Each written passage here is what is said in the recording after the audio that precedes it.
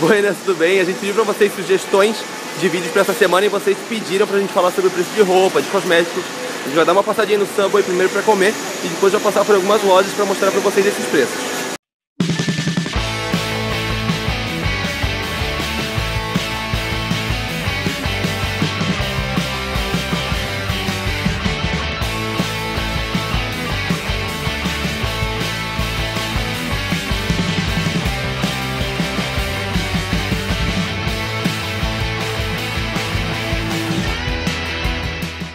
A Bruna pegou dois combos de carne e queijo, que tá ali, né?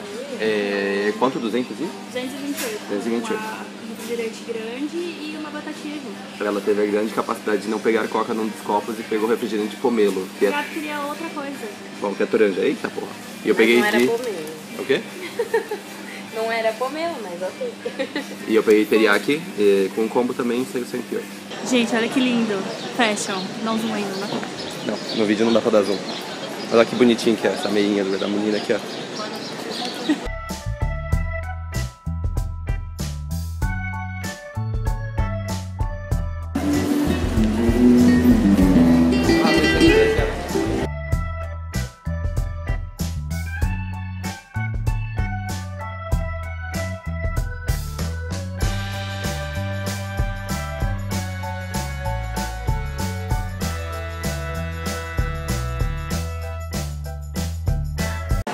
Por que, que eu fui trazer duas mulheres para uma loja de roupa e maquiagem, né? Meia hora tentando caminhar um dos quatro andares.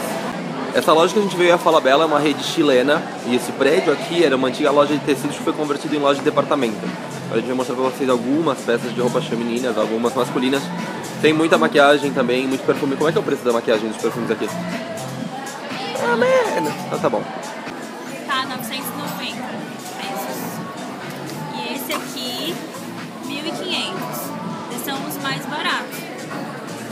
Algo que eu gosto muito da Fala Bela são as promoções que às vezes eles fazem, tipo, como essa dessas calças aqui, ó, de dois por um.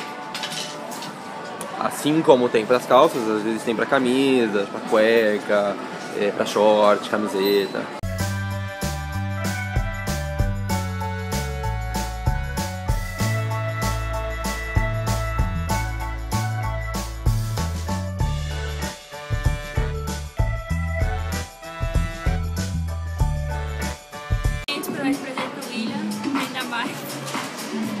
Como vocês estão vendo, a roupa masculina é muito mais barata do que a feminina aqui na Fala Bela. Não sei se isso é um fenômeno que acontece em todas as lojas, mas aqui pelo menos é assim.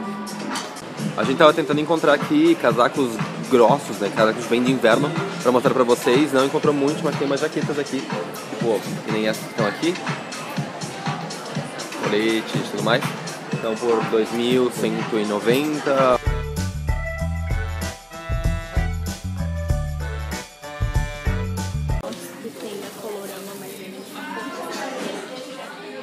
O que, que tem?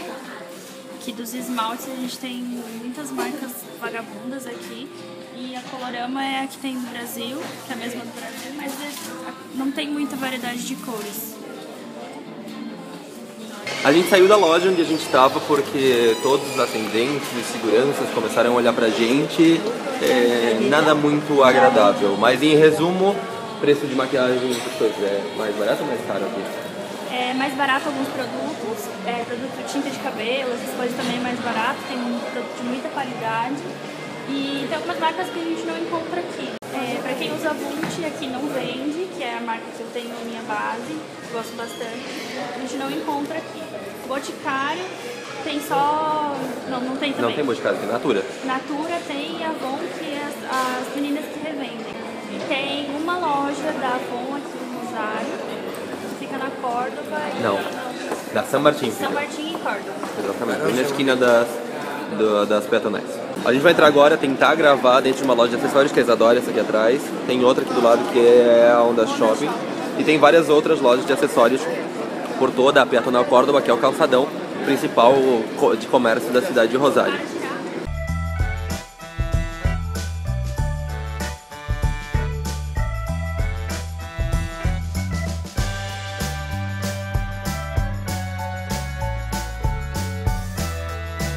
As lojas de acessórios vocês vão encontrar várias. Lojas com vários preços diferentes. A Isadora, por exemplo, que é essa que a gente tá, é uma das mais caras, mas os produtos têm basicamente a mesma qualidade. Só tem um pouco mais de variedade, digamos aqui, nessa que a gente tá agora. Mas tem várias outras. Agora, se der, a gente mostra.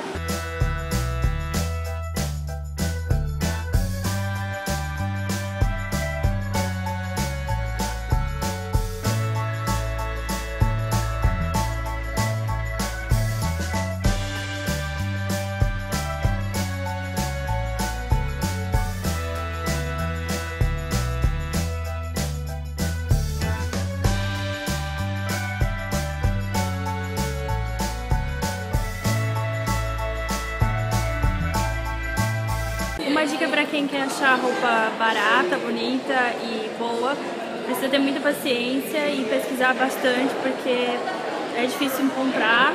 Tem muita roupa cafona. E é muito caro também. E, ou muito caro, sem qualidade. Então precisa pesquisar bastante.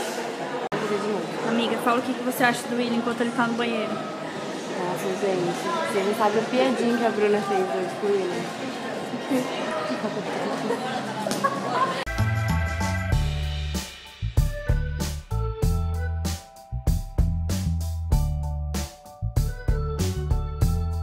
Acabaram de me desafiar aqui, aqui, a Bruna e a Gabi, pra eu colocar um piercing no septo. Eu sei que minha mãe vai me matar quando ver esse vídeo, né? Mas, pra isso, eu quero que vocês deixem aqui nos comentários o que, que vocês vão fazer pra colocar esse piercing no septo.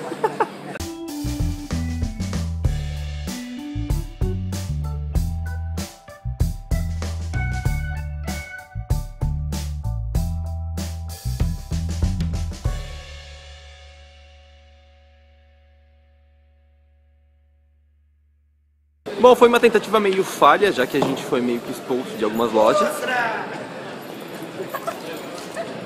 É, mas vocês puderam ver pelo menos os preços de algumas coisas que a gente foi mostrando ou podendo mostrar. Espero que tenha servido para vocês, se vocês tenham gostado. Compartilhem o vídeo, é, respondam aquilo que eu acabei de falar sobre o piercing, que é do desafio das meninas.